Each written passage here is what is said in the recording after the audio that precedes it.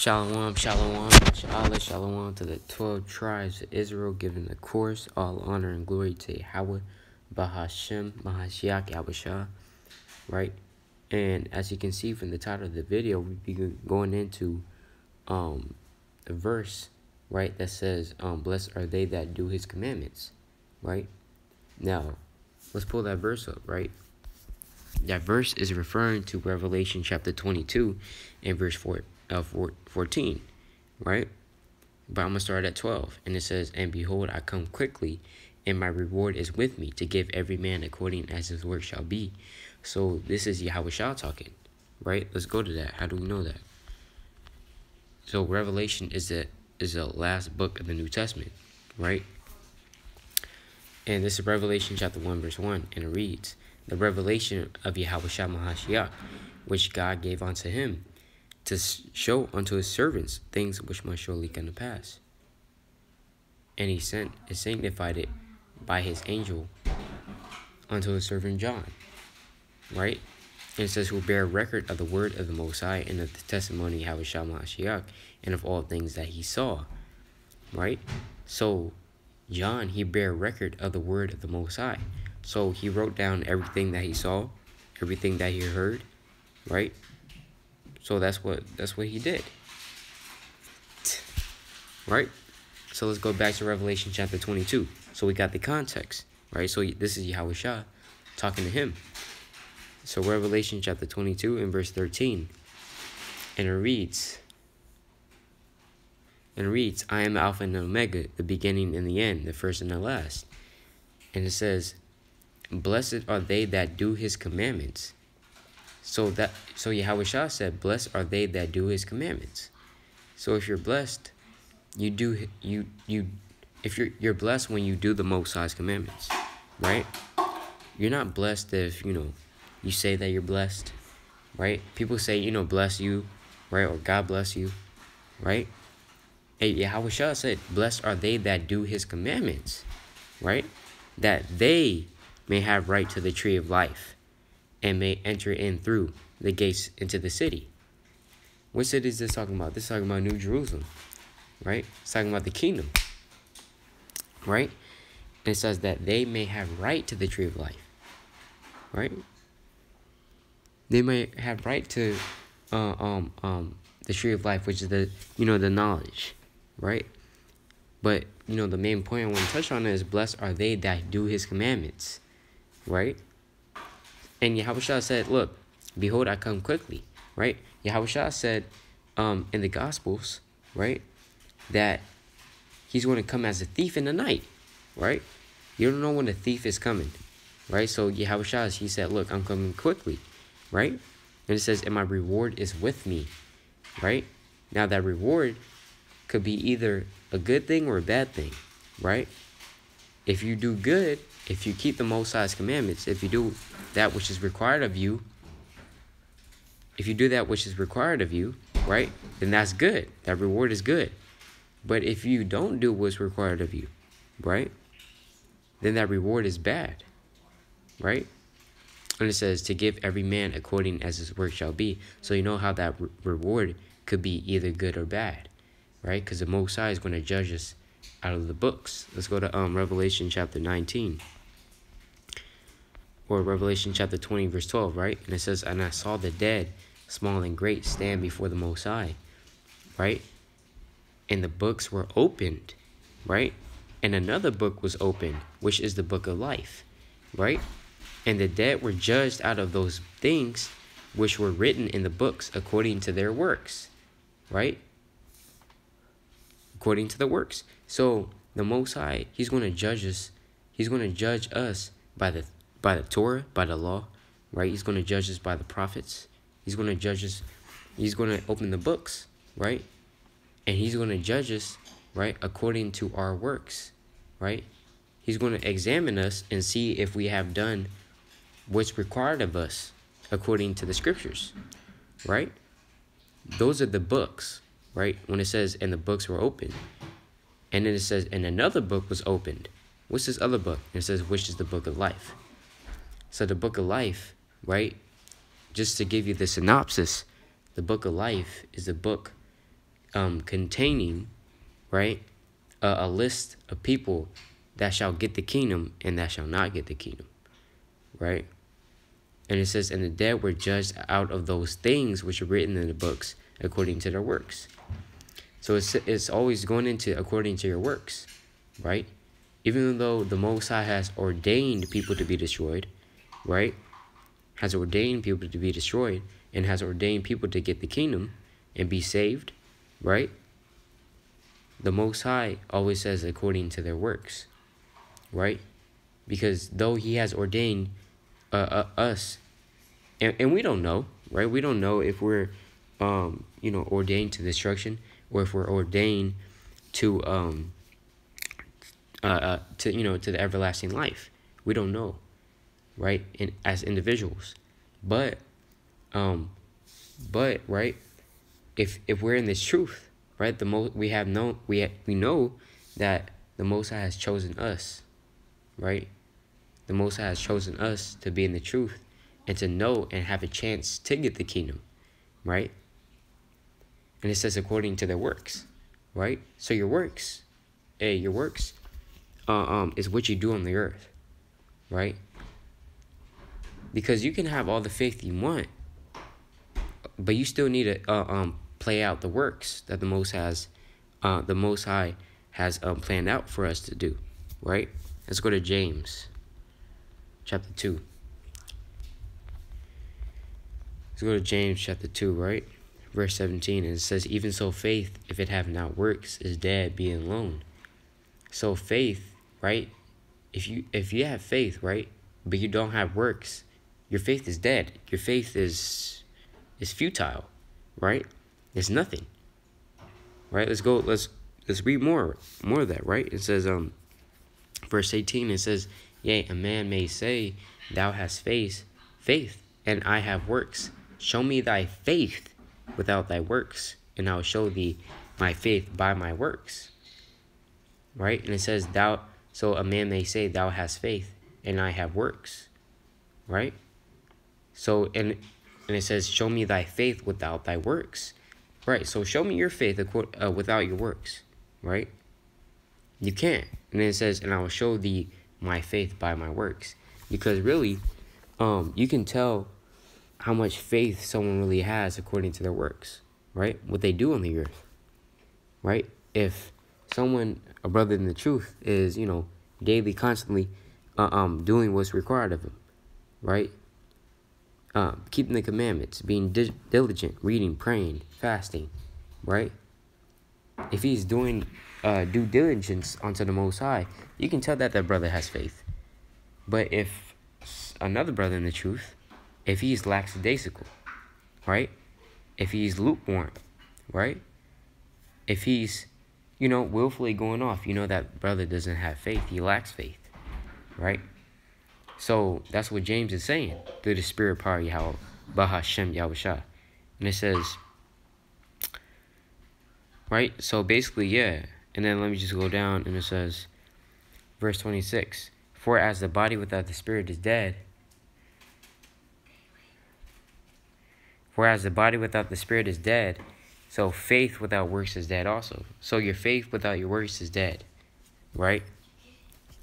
So let's go back to Revelation.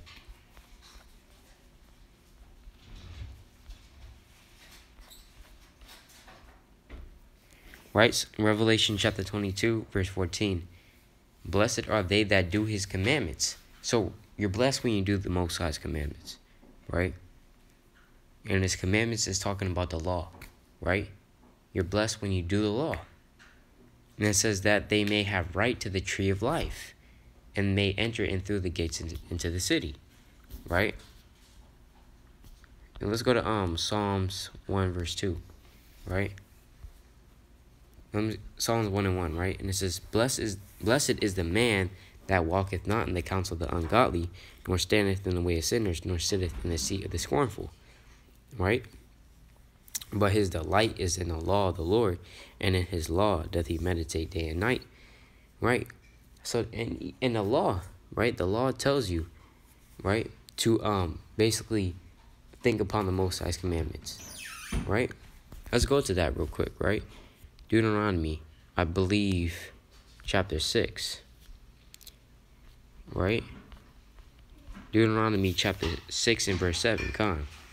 And it says, And thou shalt teach them diligently unto thy children, and shalt talk of them when thou sittest in thine house, and when thou walkest by the way, and when thou liest down, and when thou risest up. So basically meaning, you know, all the time. Right? Let's go to that. Let's go to that in Joshua. Right? It says, Thou shalt talk of them, right? Basically daily, all the time, right? And it says, Joshua chapter 1, verse 8 This book of the law shall not depart of thy mouth, but thou shalt meditate therein day and night, that thou mayest observe to do according to all that is written therein. For then thou shalt make thy way prosperous, and then thou shalt have good success. Right? So basically, what it says that the, this book of the law shall not depart of thy mouth. Right? Meaning what? You continually talk about the law, statutes, and commandments.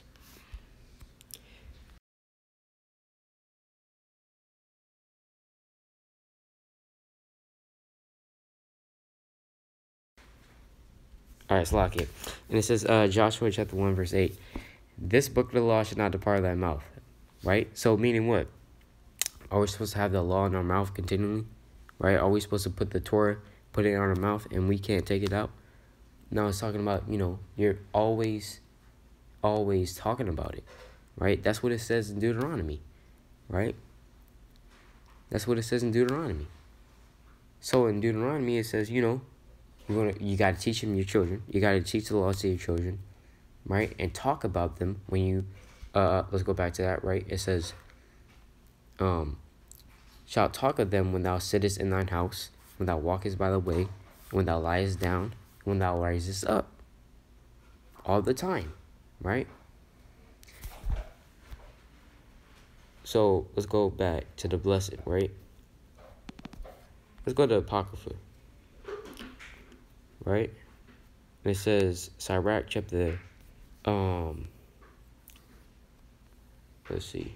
Sirach let me see, fifteen twenty. Uh, Sirach seventeen. I believe. Sirach chapter seventeen.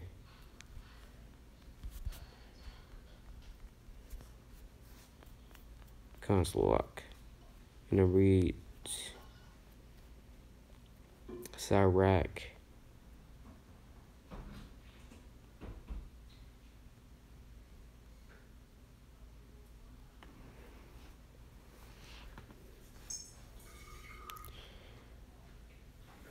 Right, so Sirach 14 and 20, and it reads, Blessed is the man that doth meditate good things and wisdom, and the that reasoneth of holy things by his understanding, right? Because basically the law, the law says this, right? So blessed is that man that does that, right? Meditates good things and wisdom. What is the good things, right? The good things is the law, right? Romans 7 and 12, right? Wherefore the law is holy and the commandment holy and just and good, right? So that's what, you know, a blessed man, a blessed man, he does this, right? Blessed are they that do his commandments. That's part of doing the commandments, right? There's cause, cause there's commandments all throughout the scriptures, right? Sirach 39 and 1. And it says, But he that giveth his law to the mind, the, uh, slot, that giveth his mind to the law of the Most High, and is occupied in the meditation thereof, will seek out the wisdom of all the ancient and be occupied in prophecies. Right? And it says, And he will keep the sayings of the renowned men, and where subtile parables are, he will be there also. And this man, he is blessed, right?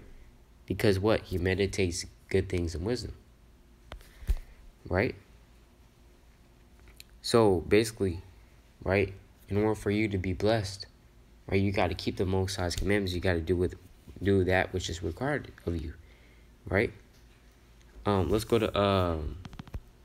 Actually, should remember precept. Let's go to uh. Slack. Let's go to Luke real quick.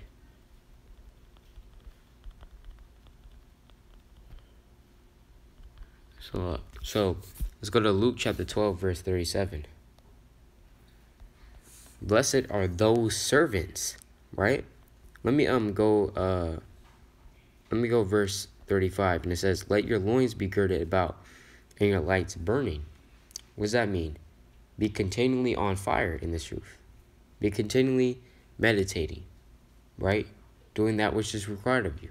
Keeping the commandments, right? Teaching your people if you're called out to do that, right? And it says, ye and ye yourselves like unto men that wait for their Lord, when he will return from the wedding, that when he cometh and knocketh, they may open unto him immediately. Blessed are those servants whom the Lord, when he cometh, shall find watching. Wherefore, verily I say unto you, that he shall gird himself and make them to sit down to meat, and would come forth and serve them. Right? So Yahweh shall blessed are those servants. If you call yourself being a servant of Yahweh, if you call yourself being a servant of the Most High, right? If you call yourself, you know, in the truth, then you are a servant of the Most High, right? This is this is a um this is an uh, uh a job, right? If you're if you're in this truth, you have been called, you have been hired, right? And just like a job, you can be fired, right? And so it says, Blessed are those servants whom the Lord, when he cometh, shall find watching, right? Watching what? Watching the prophecies, right? Watching out for the prophecies, watching out for Yahweh for the signs, right? And verse 38, it says, And if he shall come in the second watch, or come in the third watch, and find them, so blessed are those servants. Right. Verse 39, And this know that if the good man of the house had come, had known what hour the thief would come, he would have watched and not have suffered his house to be broken through. Be ye therefore ready also, for the Son of Man cometh at an hour when ye think not. Right? Because we that's why we always have to be have our loins girded about, right? And our lights burning, right? watching for the prophecies, doing that's doing that which is required of us, right? Being that blessed man um, that Revelation 22 talks about, right? That that multiple scriptures that we talked uh, that we uh, went through talks about, right? So with that, like to give a call like how about Shema Mashak El Shah, Shalom.